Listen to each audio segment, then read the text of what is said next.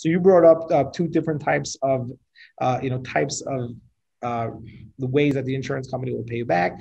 First is replacement cost, which is the most common. And again, any anything, any large investment property or anytime there's a lender, the lender will always require replacement cost.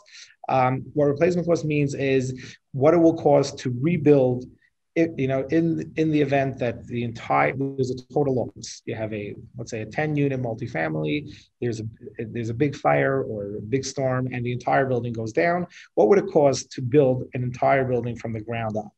That's replacement cost, um, which is obviously the best form of coverage because that makes you whole. It means essentially gives you back the from a business model, gives you back exactly what you had prior. Welcome to Real Estate Deal Closers with Anette Talie, where we focus on the deals. Our guests are real estate closers who will share in detail the whole process from finding a deal to closing it, as well as strategies and tips to help you do the same. Here is your host, Anette Talie. Welcome to another episode of Real Estate Deal Closers. I am your host, Anette Talie, and my guest today is Isaac Schwadel. Welcome, Isaac. Hi, Anette. How are you? Good to be here. I am super excited to have you. And, you know, Isaac has the record, the world record on how many times we try to schedule this meeting. And for many reasons, and I would say 99% my fault, we couldn't meet until today. But I'm super excited to have you finally. And thank you for your patience. You know, it's been crazy lately. My pleasure. Happy to be here and happy happy happy worked out in the end. Absolutely. Uh, so today we have an amazing special edition of Real Estate Closers. We're going to be talking about insurance when it relates to multifamily, small and large. So, but before we start, uh, let me tell you a little bit about Isaac. He joined Allsure in 2016 as an account executive and Wrap-Up admin. After two years, he made the change to broker to share what he learned with clients in a clear and concise way. Prior to Allsure, he was the director of development at Rutgers Jewish Experience, where he helped the organization with general fundraising, event coordination, and providing an original twist to marketing materials. When he's not busy with insurance, uh, he likes to hike, work on home improvements, and reading. So welcome, Isaac. So tell me a little bit of how did you get into insurance? How did to get into insurance? Okay, um, it's not it's not such a glamorous story, but but uh, it is what it is. Um, like like you read, I was um, involved in fundraising for for a, a Jew, nonprofit Jewish organization. Um, you know, helping specifically at Rutgers University, uh, helping uh, Jewish students there connect with their heritage and learning more about Judaism. Um, after a while, I was looking for, I enjoyed the connecting with people part, but I wanted something a little bit more, I guess, intellectually stimulating. So I moved uh, and an opportunity for, you know, uh, presented itself in the insurance world. Um, I tried it out. I really enjoyed it. Uh, and like you said, I made the transition. I started in the back office where I really learned a lot about um, coverage, a lot about markets, and then uh, made the transition to uh, you know, to a broker, which really brought everything together. I enjoyed meeting new people, talking to people, and um, essentially helping them with uh, with whatever it is I can help them. And this, you know, and the way it turned out was to help them with their insurance needs. Um, so that's the, the, the long and short of the you know of the story. Oh, awesome, awesome. Real Estate Deal Closers Special Edition. All right, so I think insurance is one of the subjects that uh, you know sometimes it's hard to understand how to get a quote because there's so many different variants when you get a quote and you know sometimes when you get like two different quotes they are not apples to apples right like each you know uh, insurance agent has a different um, approach to it. Sometimes they include one thing and then the other one doesn't. So it's kind of hard to uh, compare apples to apples. So let's talk a little bit, let's focus on multifamily, small and large.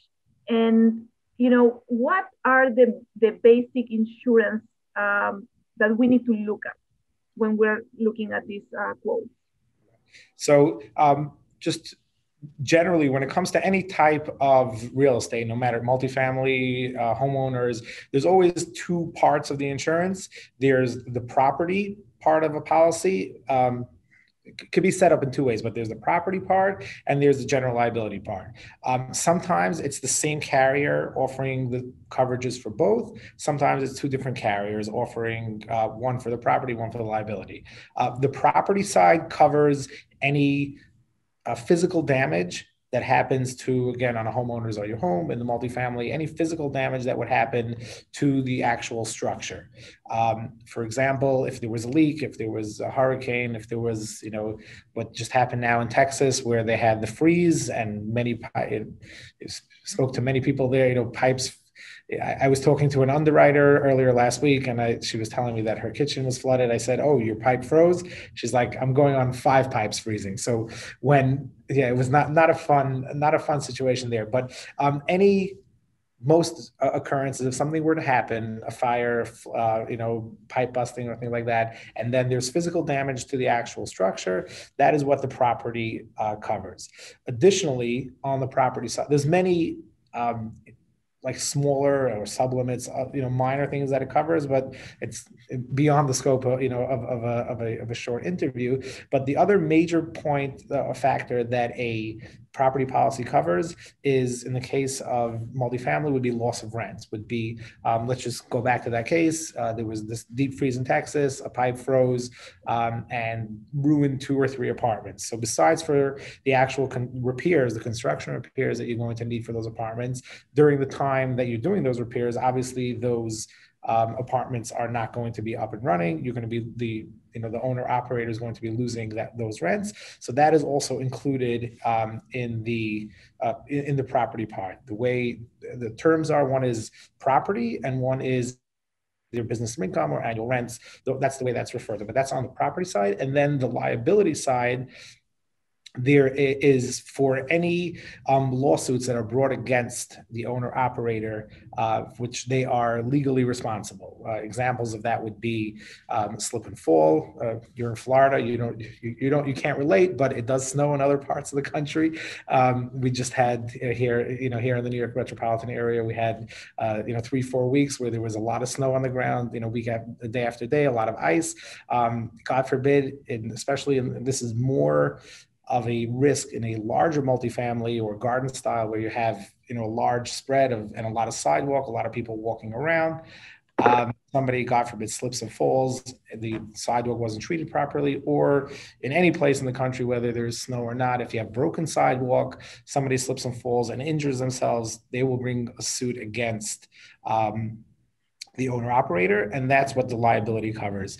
On liability, there's one more piece, which is uh, referred to either as umbrella or excess liability. And without going through the numbers, the basic concept of excess liability is that your what was what's referred to as general liability policy caps out at a certain at a certain limit.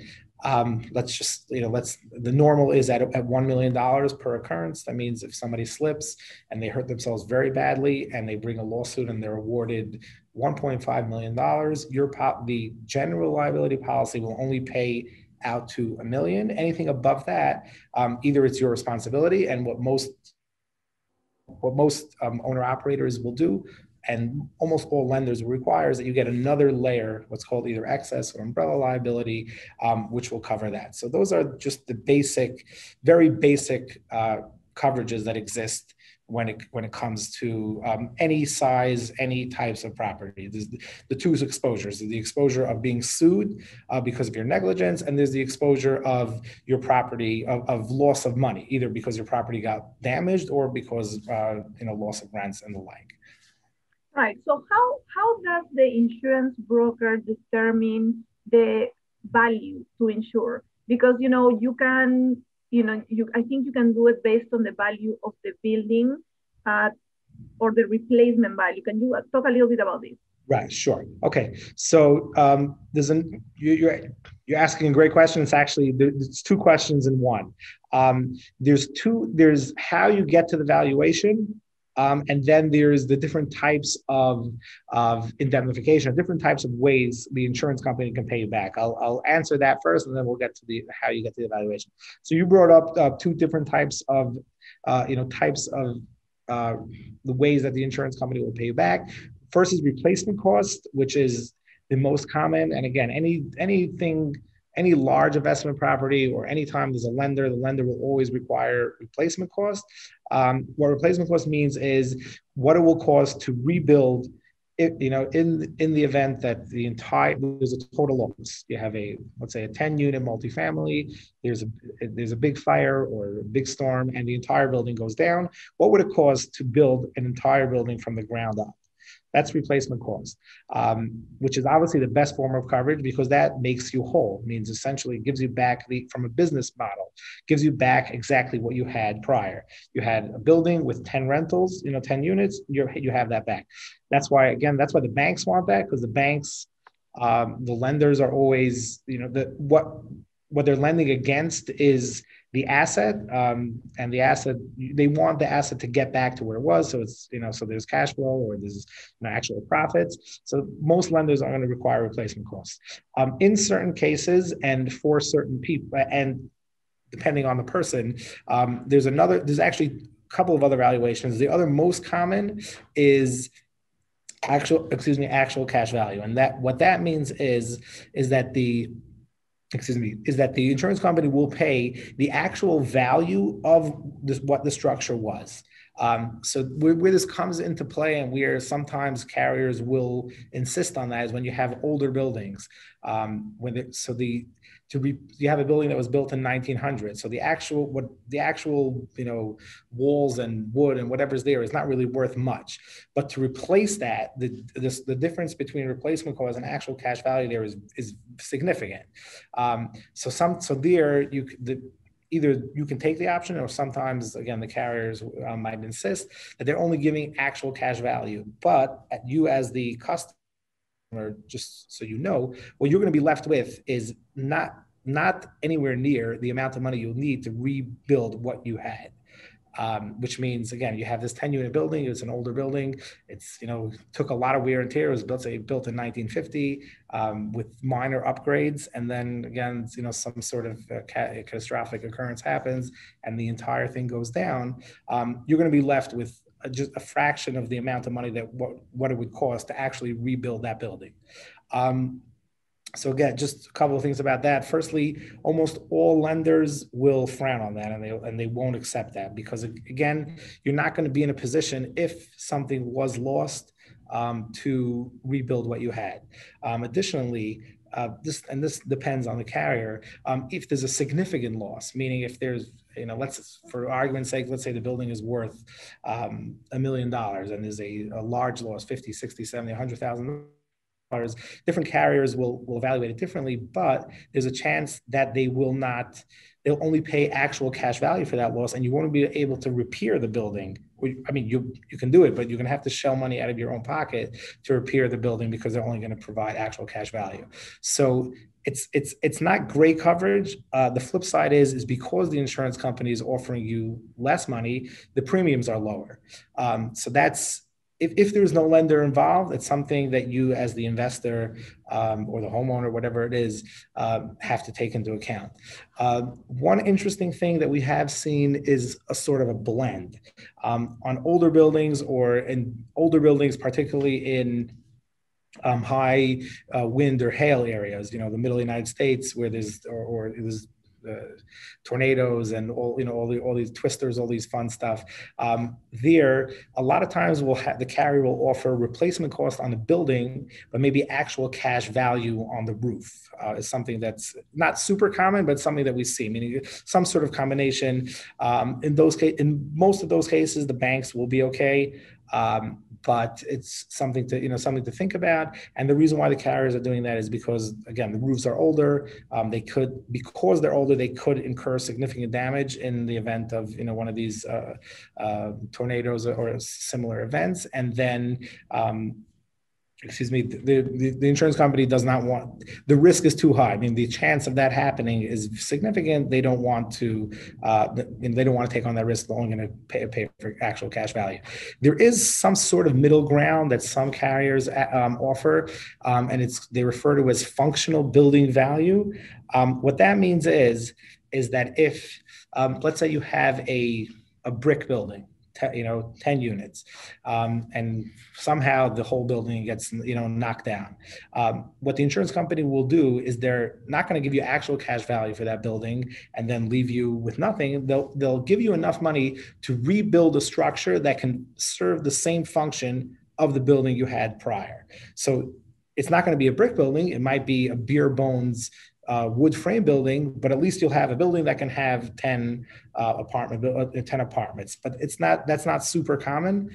Um, it's, you know, only certain carriers offer it. I've, you know, we have seen it, it does exist, but it's just sort, it's like sort of a middle ground between actual cash value and uh, replacement cost. So, uh, so that's that. Then the, the second part of your question was, um, how do you determine what replacement cost is? So there's, uh, there's a, there's a, you know the the, most um, I guess the cleanest way um, really is to find out construction costs in that locale. Um, and then for this particular meaning, if it's a brick building, obviously it's going to be exp- more expensive per square foot. Um, if it's wood frame, be a little cheaper. And then do a little bit of due diligence, and then figure out the construction cost and what what would it you know in reality cost uh, for this building uh, to rebuild this building. Um, most of nine out of 10 times, again, when there's a lender involved, that will be on the appraisal. Um, but I, I, will say that I have seen the appraisal is, uh, you know, there's a process and the, the, bank, you know, most of the time they outsource it, but there are good appraisers and bad appraisers. I've seen some appraisals come in so terribly off, um, you know, that uh, you, would be surprised. But um, the thing with a lender and appraisal is that the lender will require you to cover whatever the insurable value comes out to be in the appraisal. Um, so if it, there's not really much wiggle room unless you, I mean, to go lower, unless you want to go higher, you want to be safer. But the minimum the uh, a lender is going to require is, um, you know, what, what comes out in the appraisal. The exception to that is is not not the exception. Some banks sometimes will only want their loan value, their loan amount covered. So let's say it's a 15, the building, just to, to, you know, throw out numbers, let's say it's a $15 million purchase of, you know, a larger multifamily. Mm-hmm. Um, for whatever reason, the loan, or let me, backtrack. Let's say it's a the replacement cost for this large multifamily would be about $15 million. Um, you're getting it as a steal of a deal. Um, you're paying only $6 million. You put down however much you need for the down payment. The loan is, let's say, $5.5 million. Um, there are banks that would say, hey, all I want, all I need to see is insurance of, of $5.5 million, and I'm okay because I know that I can get my collateral out. Um, it's it's scary because as as the investor, um, especially, and this I, I, I, can't say this enough times. If you're an investor and you're investing your own money, you can make your own decisions. Um, if you're investing and you're a syndicator and investing other people's money, it's always important to uh, consider that other people might be more averse to risk than you are, and um, just for selfishly for your own reputation, if you underinsure and you cut corners, and then you know something were to happen it, you know, you, are going to be, you're going to have to go back to your investors and say, hey, um, you know, we try to save another five or six thousand dollars on the insurance policy, so we underinsured the building, and this is what happened, and now we're we're stuck in a bad situation. Um, so when you have that situation where the bank is not requiring the full replacement cost value. Um, it's obviously it's a business decision, uh, it, you know, as as the investor or as the syndicator, but it's definitely something to consider that, or something to to at least note that the what the bank is requiring is sometimes really completely off from what the actual replacement cost is. And the reason why the bank doesn't need the entire replacement cost is because they're only looking out for the amount of their loan, and that's all they care about. But you, as the investor, um, you know, you, you can be in a bad spot. And then it, it can play out in so many different ways because you know a lot what a lot of investors um, sort of sort of going into your territory but what, what the game plan for a lot of investors are is they'll buy let's say an underperforming property and then for about a year or two you know fix things up increase the rent roll and then refinance you know and then be able to take out more money. But if in the event again something were to happen so your whole business plan is really not for the value today but the value in the future and then you really uh, by not ensuring the insuring it properly really you know blew that whole plan apart. So having it adequately insured i'm not saying you have to go crazy but when, when you see the numbers of the bank try to see if that's a number that makes sense that can actually you know replace the replace what exists you know. Again depending what your game plan is but have a plan know what it is and know if the numbers match that plan is i guess the best way to say absolutely. that. Absolutely. I think that you know in many cases, the banks are more restrictive to what you would do. I know on a personal note, you know, when I bought my six units, the bank required me a lot of insurance. And when I was doing the paperwork, like, oh my gosh, why are they asking me for so much and blah, blah, blah. And then I got sued. And thank God for the bank that required me that insurance. Exactly. So please, exactly. you know, especially liability, if you don't have liability insurance on your properties and you're renting them, make sure that you carry it because that oh. saved, saved me from for a sure, big, sure. big chunk of money. Um, exactly, uh, especially on the smaller. It, it, it, it's the irony is, excuse me, that on that on the smaller properties, people often think, ah, you know, I don't really need it. But there, the margins are so small. In other words, on a on a real on a on a five million dollar uh, real estate purchase, if somebody slips and falls and they sue you for five six hundred thousand dollars, and you're not adequately insured, it's not it's obviously not a good situation but the the asset has enough enough value to pay for that and still exists. If you have like you said you know six unit or seven unit where the whole value is you know can be under a million dollars and you have somebody or one or, or two or you know a lawsuit, you could really be lose the entire asset. And I would go a step further is that if something's not even your fault, if you have, I have a client that um, for whatever reason they weren't on top of their the tenant's insurance, and one uh, one of the tenants had a German Shepherd, and it, the, uh, another one of the tenants invited some guests, and then there was a, the dog bit the guest, and there was a tremendous lawsuit. Um, so in that case, so the tenant didn't have proper insurance, and so then the case comes to the owner, and if you're not properly insured, again on a smaller asset, the the two things people don't realize. First of all, the settlements in these cases continue to rise. Um, you know, it, it is what it is, um, and even if you are you're able to settle uh, for not a, an amazing amount. Um, or you know people you know i've had people say oh let me can, can i make the tenant sign whatever it is you know that they'll never sue even if that which doesn't always hold up in court but even if that does hold up in court the defense fees and the, the time that this takes to, to play out. If you don't have proper insurance you know lawyer fees and and and adjust there's there's so many expenses that can be involved. It's just it's never worth it um, to be uh, you know severely underinsured. You know what do you have to be overinsured. You know different people have different uh, have different um, definitions. But to be severely or underinsured is, is, is always a risk because as much as we hope and pray that things don't happen, unfortunately they do. So yes, and uh, and you know, let me note that the insurance found us not negligent on my case, and yet they came back for medical expenses, and they got a big amount. Right. You know, and then my insurance probably will go up after that. Right. Uh, and you know that they proved that it was it was not my fault it was not our fault everything looked good on our side but still you know there's a lot of lawyers that will do the work um, and just charge them when they win the case and they will go you know they don't care they have big packets so especially like for like you said for small buildings make sure that you have liability insurance and you can buy if you own the place outright and you don't want to have property insurance because you don't want to at least have uh, insurance you can get like for a hundred dollars a year you can get liability up to a million you know? So it's not that expensive and it's totally worth it. Uh, absolutely. uh, yeah so i wanted to talk a little bit about uh, pets you know because like you said you had a, a case of somebody and i also heard of a case where you know there was this you know duplex and they didn't have a fence and then a pet an animal from somebody else went to their yard and bit somebody, and the owners of the, the property got sued, even though the pet wasn't theirs and the guest wasn't theirs, and they still got sued. So how do we navigate, you know, pets? And you know, I know sometimes there are some restrictions about pets. Right. So, so that's that's a great question. Um, and again, I'll, I'll answer, try to, to, to answer it fully. I'll, I'll, break it into two parts.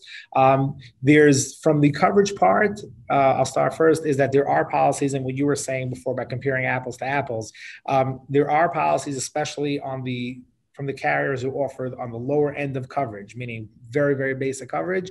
One of the exclusions that they'll put on is a an animal exclusion, which means that if any lawsuits are brought against the owner because of an animal, um, then they will not provide coverage. And again, whether it's your, like you say, whether it's your fault or not your fault, two things, uh, there's defense costs, which can be astronomical. And again, if it's a duplex, if it's a small, if the whole cash flow of the property is, is not that much, if you want to, if you're going to have to sink all that into defense costs, you're going to be in, in a bad situation. So sometimes it's worth it to invest you know a little bit over time if you look at you, look at it as investment over time um, into that you know defense fund if you want that in the event that something will happen um, you'll be properly covered so it's an important exclusion to look out for um, and once talking about exclusions i'll just talk about two or three other exclusions which are very important um, to look out for on multifamily. And one of them is firearms exclusion, which, um, depending on where the asset is, um, is either an issue or not.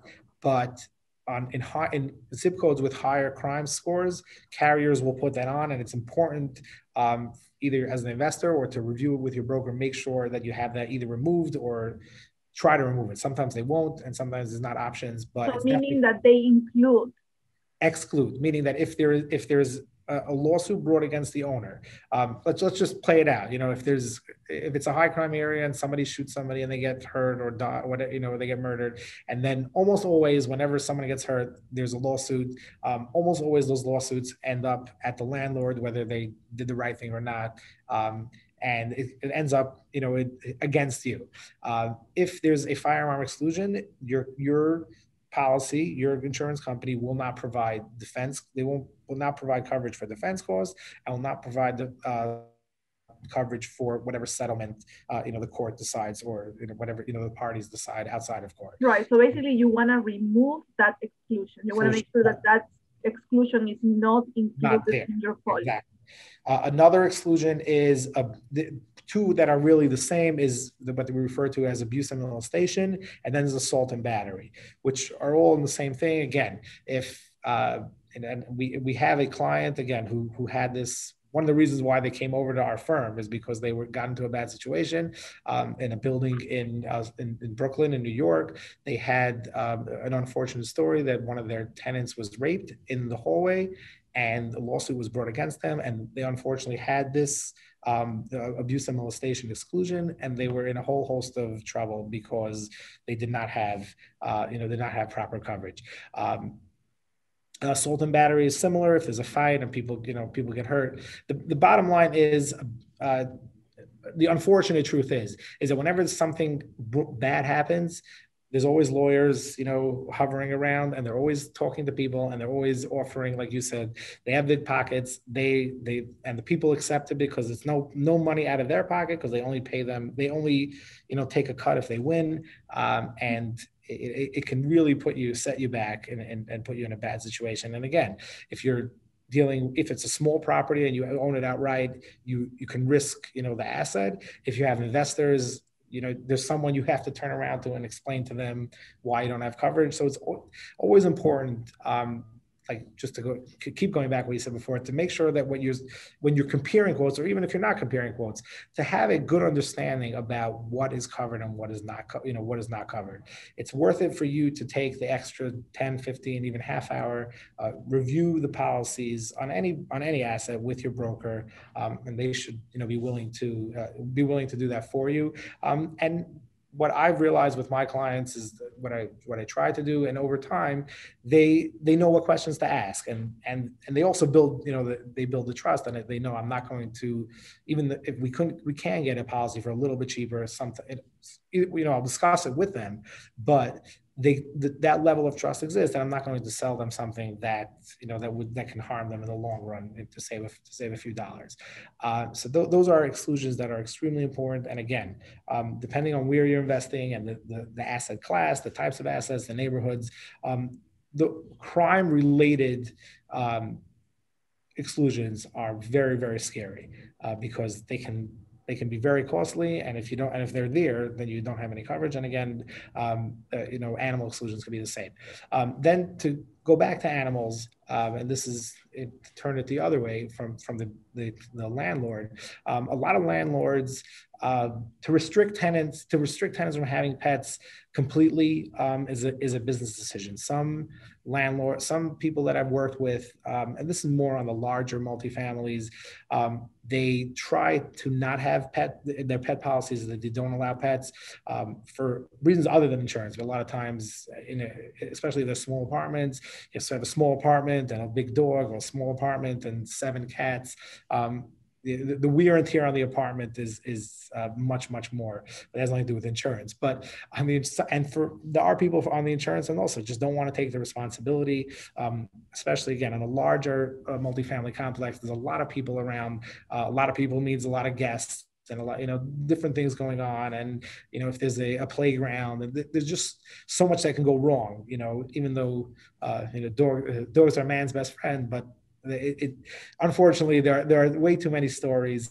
Um, and then you have these you know the, the oddball stories but which where people have exotic pets snakes and different weird things that can also um, you know have not such great results. So some people completely eliminate pets other again this depends on the region the neighborhood the asset class but other um, landlords feel that they can't they can't afford that.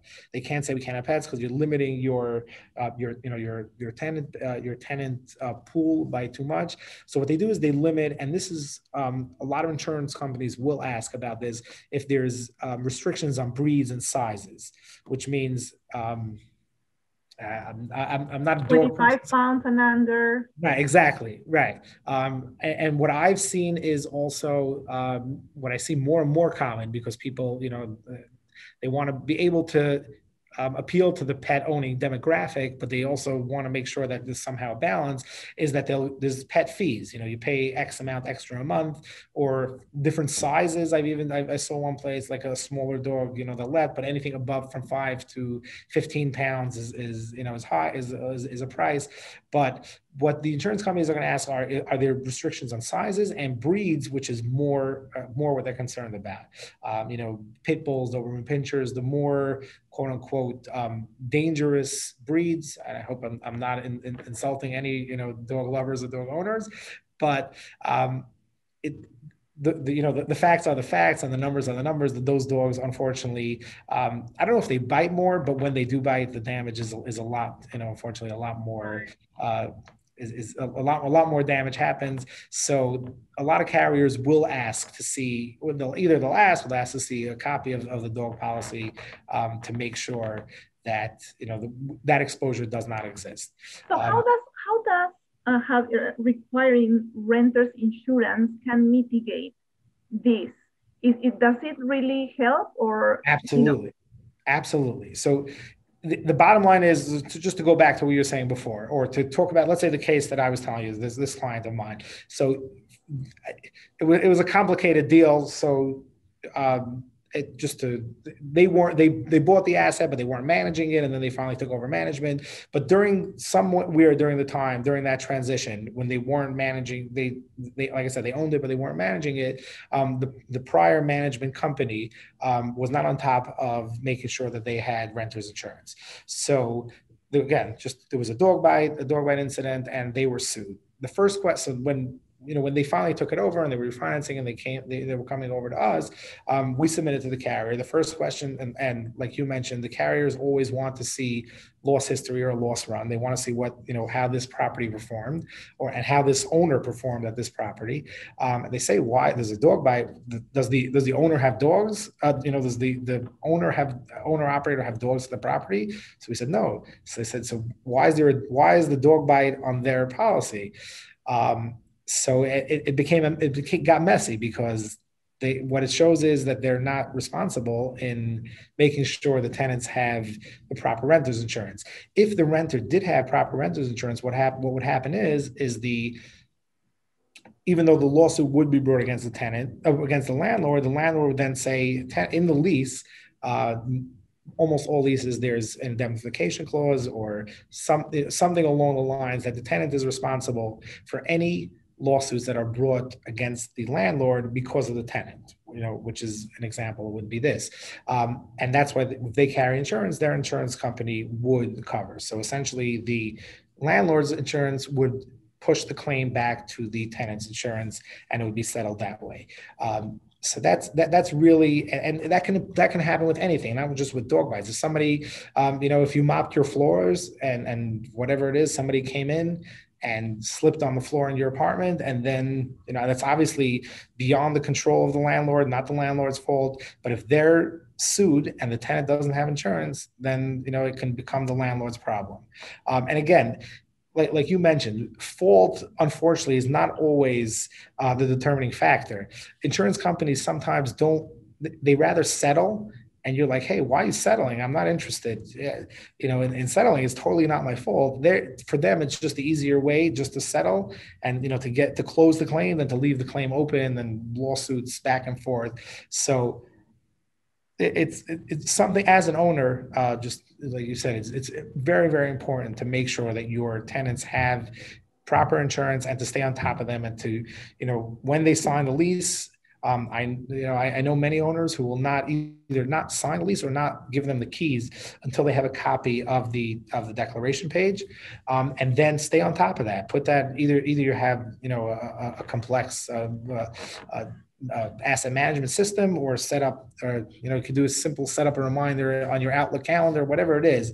Um, you know that 30 days before this uh, this renews or 15 days you know request uh, request the tenant. And then there are um, you know, some in some of the higher end buildings. We're involved in, in, in New York City in some really um, luxurious buildings um, on either on on, off, on the office side or on the on residential side. There, um, they actually find the find the tenants, or, or if it's a, a condo association, they find the unit owners uh, for every day or every three days that they don't provide proper insurance. So again, you have to know your clientele well, um, but you can be even if you don't want to actually charge them, um, you can you know become a pain a pain in the neck and call them and email them until you have a copy of that because it really really uh, can be uh, make it or break it. And again. Um, you know, we, we hate to, to cast aspersions on people, but oftentimes the people are irresponsible about their, you know, letting their insurance lapse are also the types of people who, uh, for whatever reason, have, you know, claims happen and are irresponsible. And it, it just, uh, it, it becomes a vicious cycle. So it's really, really important to make sure that you have renter's insurance. All right, and just one more uh, in, in, on this subject. What about pools? Because you know sometimes uh, you know, you have a house and there's a big yard, even though you don't have a pool, the tenant comes in and install a pool. And even though you heard on your lease that the pools are not allowed, how does that affect your policy? And is there a way to protect yourself? So so the answer is really is really not. Is really the, the way to protect yourself is to enforce it and tell them i know I, am really sorry but i really we can't have a pool. There are um, it, it's it's difficult to know in, in, the exact every situation has to be evaluated uh, you know individually but there is there is there is a concept that insurance com if depending how it was presented to the insurance company a lot of insurance company will ask is there a pool? And you as the you know as the owner um, you know with no honesty you'll say there's no there's no pool. And then you have no idea it depends you know if you're managing it from afar or even if you don't know if you don't visit the property every day um, could be that they like you said you know it comes the summertime they put up a pool and then a claim happens and then the insurance companies will say hey you know we look at the application says no pool um, I'm not covering this because we said there's no pool mm-hmm. and now there is a pool. So it's really, um, I, I, understand from the landlord's end, it can be tough,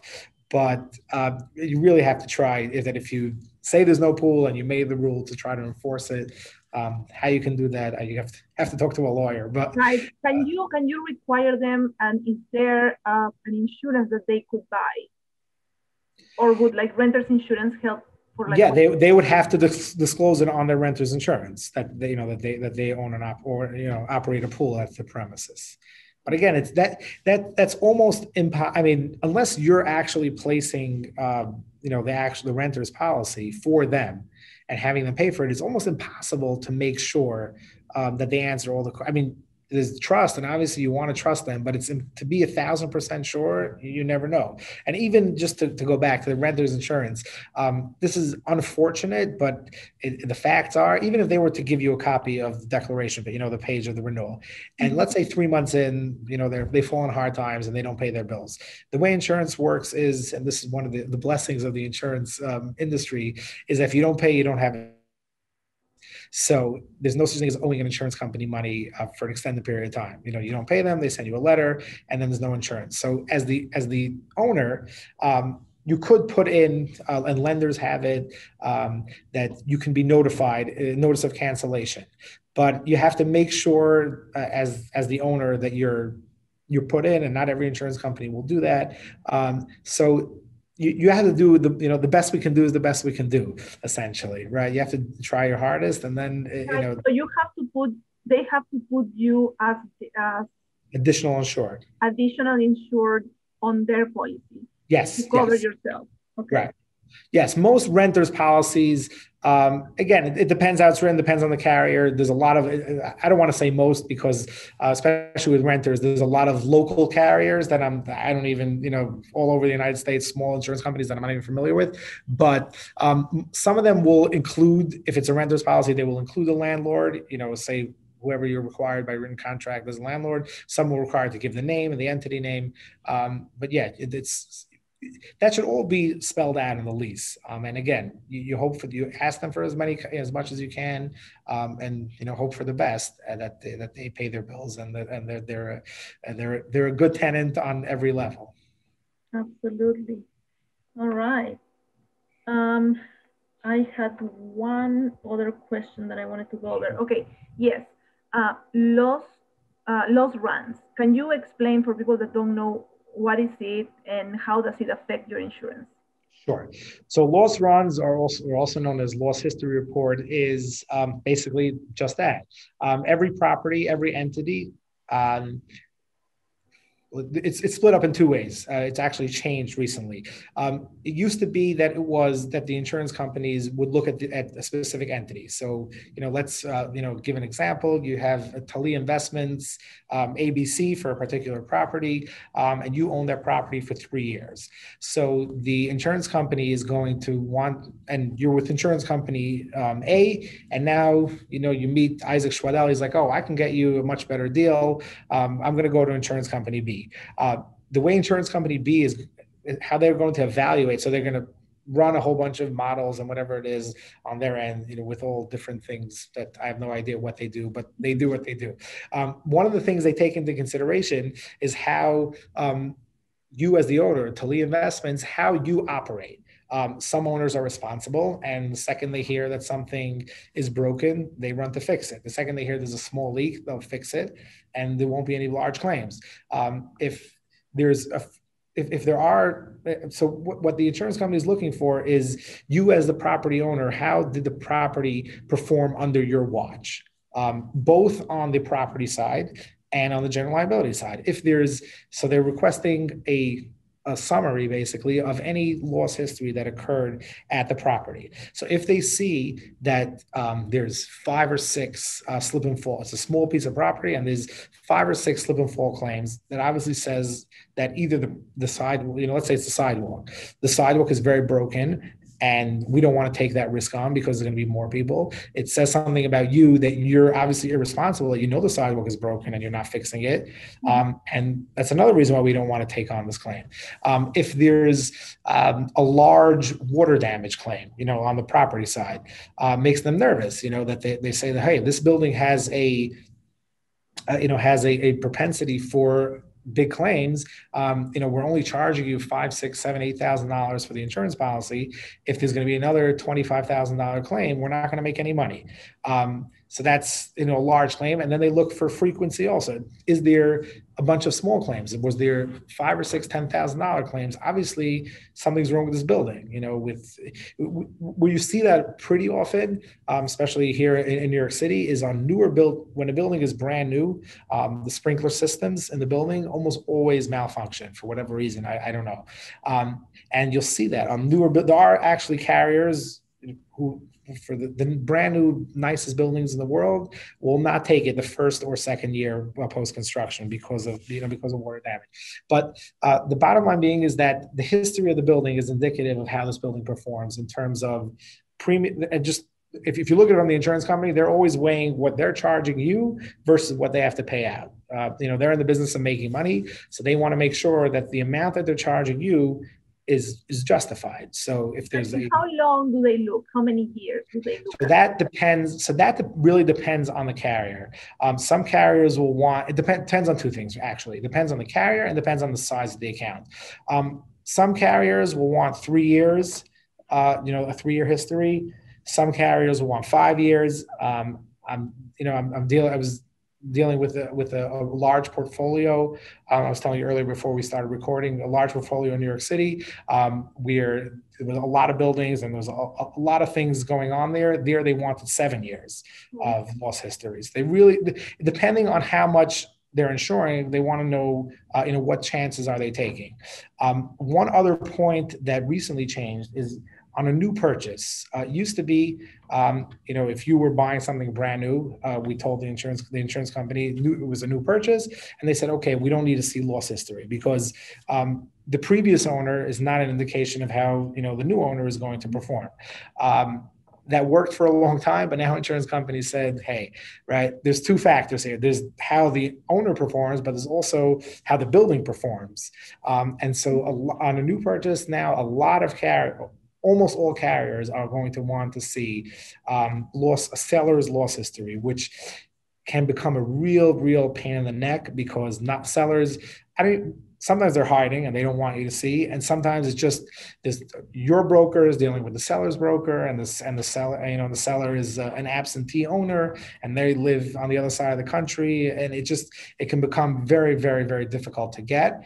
Um, but eh, you know, that's just the, the facts of the industry.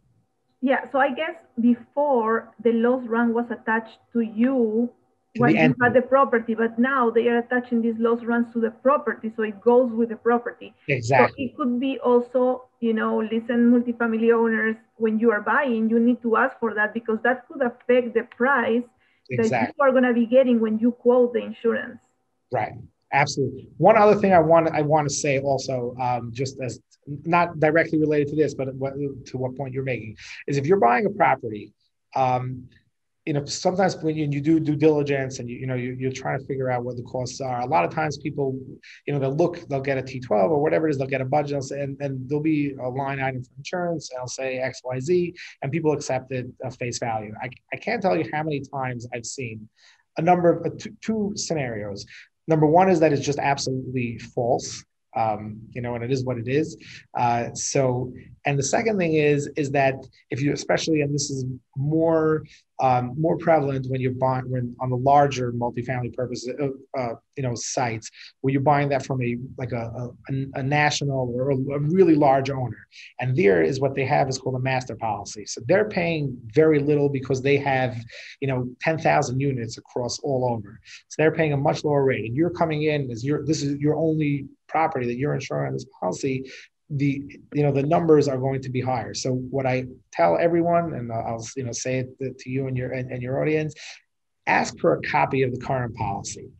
Um, don't just trust the number that you're given. Ask for a copy of the current policy. What that also can give you, and just to you know tie the whole the whole conversation together, is oftentimes the if an owner owns something for five, six, seven, eight years, you know, we, we were talking about valuation before.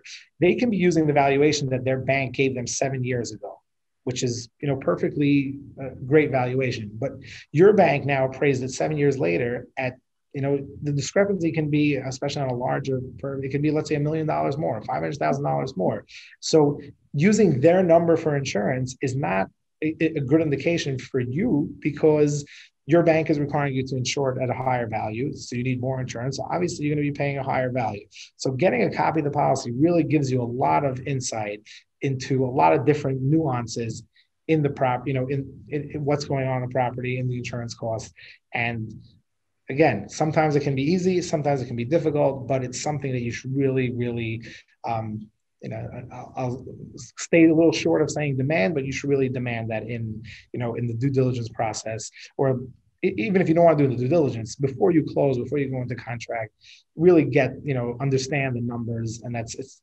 again as the asset grow, the asset types that you invest in grow, the insurance the insurance costs grow and it's something to really keep in mind. Right. So as part of your due, due diligence, you need to ask for the copy of the insurance and the loss runs that yes. way you can uh, you know you can call isaac and you can ask him hey i'm under contract for property can you give me a quote and here's what they have and then you can look at it and say okay this is underinsured or there is too much co-insurance or you know there's no liability enough liability and you know then you can decide what works for you and also ask your bank if you're financing what are the requirements because right. you know you can quote it and do, do your due diligence and like have the same type of insurance. And then when you go to close, the bank is going to tell you, no, we require 2 million instead of 1 million.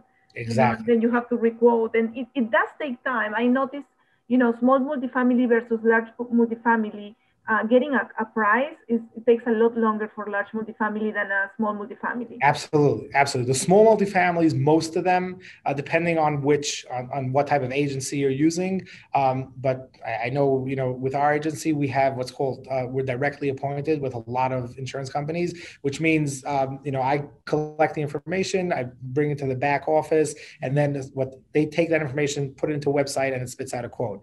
On larger multifamilies, it's actually manually underwritten which means you you have there's a I don't have to go through the whole process, but there's a form. You send it over to an underwriter. They look at it. They Google. They they really really you know uh, look into what's going on, um, and that takes longer. And you know, and that it's just a, it's uh, you know manually underwritten takes a it takes a, a, a lot longer to actually um, get a quote. But the good thing about that, what, what I like about that, and we're um, we as an agency uh, use that is to leverage our relationship with the underwriter. I mean, if, if you're just sticking it into a computer, you know, there's not much um, of negotiations going on there. But if I know that uh, you know, you, you, tell me, you tell me, uh, you know, Isaac, I'm in contract. This is the number that I want to be at.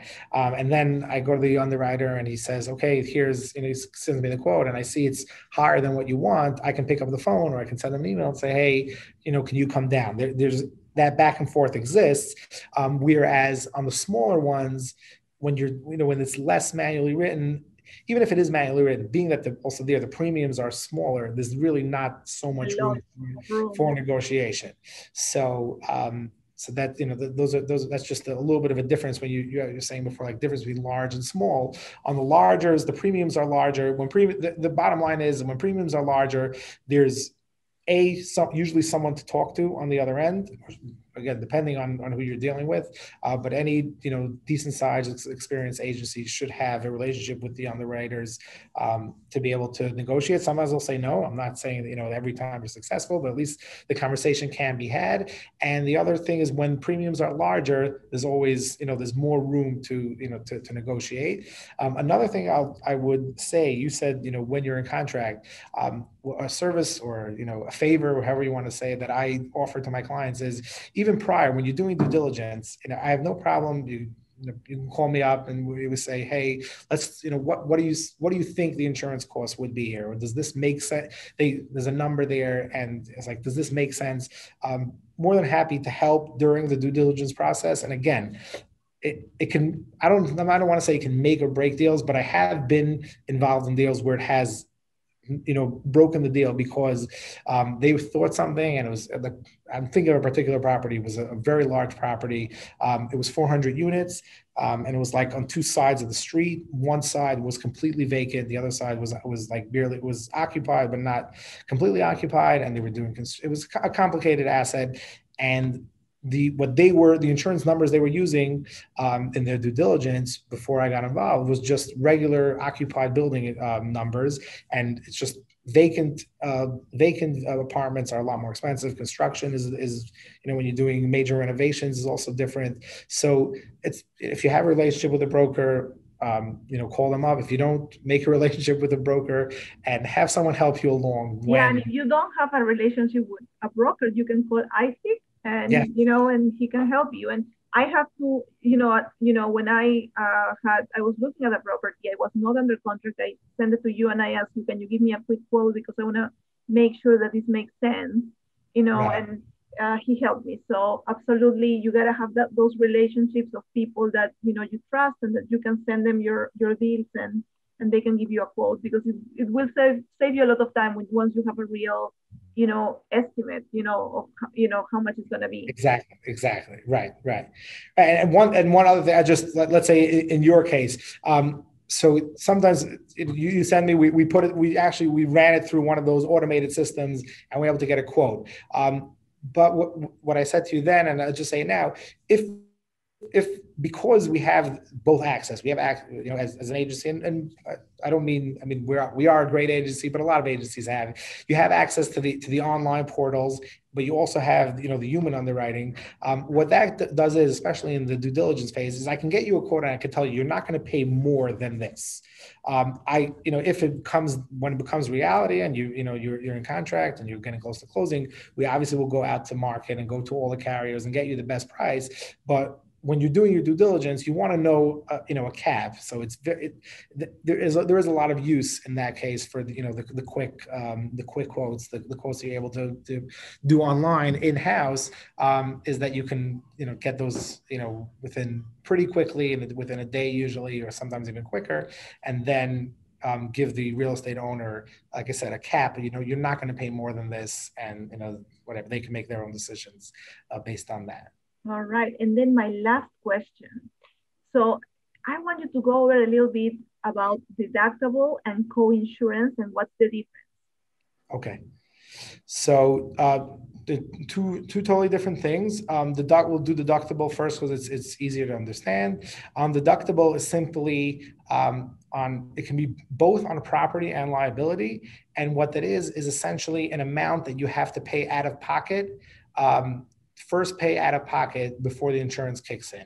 Um, so let's talk about it on the property side. Let's say there's a $5,000 deductible. So if there's a 10,000, let's say something happened and there's a $10,000, $10,000 worth of damage, the first $5,000 of damage the insured is going right the, the owner is going to have to pay out of pocket anything above that excuse me um, then the insurance company kicks in most almost all policies will have that per occurrence, which means if you have 10 claims a year, um, every single claim, the first $5,000, you're going to have to pay out of your pocket, and the insurance company is going to pay above that. Um, that's on the property side, liability side, the same thing. If you're there, we see it less. Um, and for much smaller amounts, but it exists. Again, if there's a lawsuit, someone slips and falls and they sue you, um, or there's defense cost, the first 100, 250, 500, 1,000, whatever it is, dollars. That's going to be the owner's responsibility. Anything above that, um, the excuse me, the you know the insurance company is going to kick in.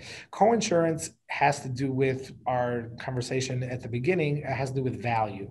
Co-insurance means that if the insurance company feels right that you are not uh, you're not insuring the the um, you're not insuring the property at a proper value, what they will do is put on a co-insurance clause. And what that means is, um, let's the, one of the most common numbers is 80% co-insurance, which means that if the number that you're giving is 80 is less than 80% of the actual value, um, then the, the insurance company is not going for any loss, right? Even a not a total loss. Um, the insurance company is only going to cover uh, about 80%, depending on, on the math, you know, particularly, but they're not going to cover the entire loss. Uh, they're only going to cover within the ratio that you're that you're excuse me that you're paying less than the actual value okay so for example you have a property that you know the value is 150 but you tell the insurance you want to insure only 100 Right. So that's less than 80%. So so mm-hmm. you only want to insure you only want to insure 100 and that's less than 80% of the value.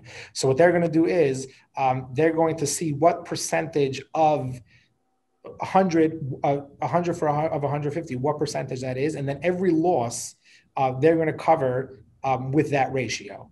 Mm-hmm. Which means so you have a $25,000 loss, you're going to only get the same the ratio of 100 to 150 for to, to replenish that loss.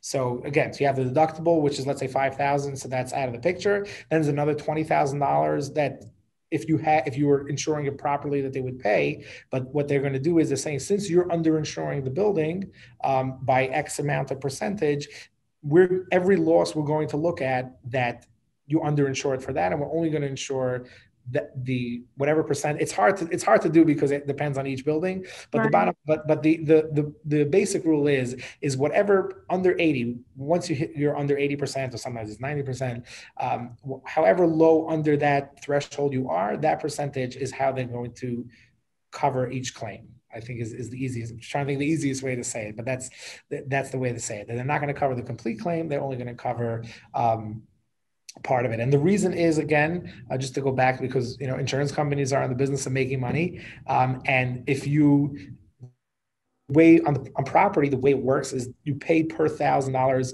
uh, depending on the carrier, but there's, there's a rate for the value of what you're insuring. So obviously, a million dollar building, you're going to pay a lot more insurance for the one hundred fifty thousand dollar building. So if you have a million dollar building and you're only insuring it for one hundred fifty thousand dollars, the insurance company is only collecting is collecting much less money than they should be. So then they're not willing to shell out for every claim that you have, every $10,000, $15,000 claim, uh, because that the money doesn't it doesn't justify the amount of money they're making on your premium. So that's the, the long and short of, of, you know why they put on co-insurance clause. And then going back to lenders, a lot of lenders want the, the clause removed um, because again, it it doesn't offer full indemnification, doesn't offer full, um, you know, doesn't help you with every loss completely, and you know that you can be left uh, in a situation where it's not fully covered and the asset is not brought back up to where it should be.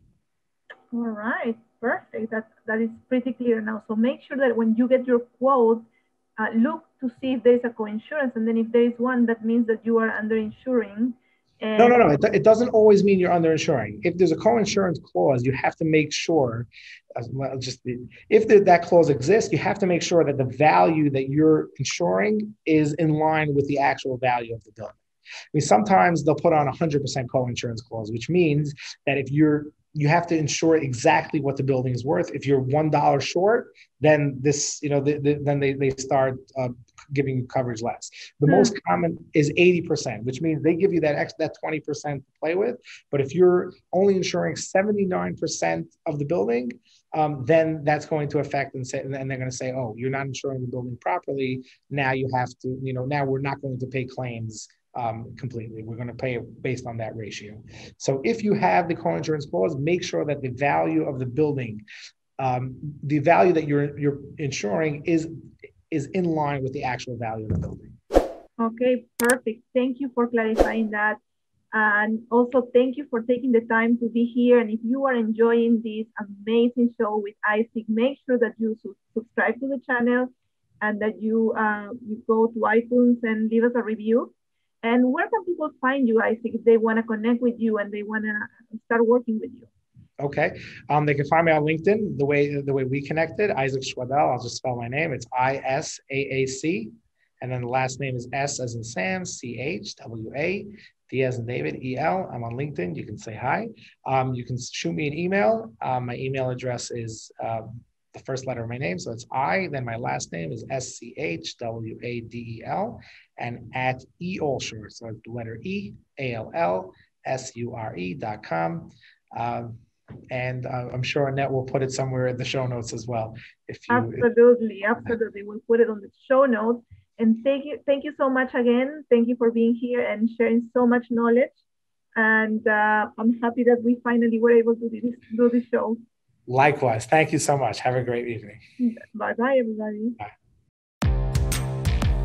This was Real Estate Deal Closers with Anette Talie, brought to you by Talie Investments. We hope that you enjoyed this episode. Our goal is to provide amazing value on your real estate journey. Connect online at www.talieinvestments.com, where you can find this episode and more. Did you like this episode? Subscribe, like, and share.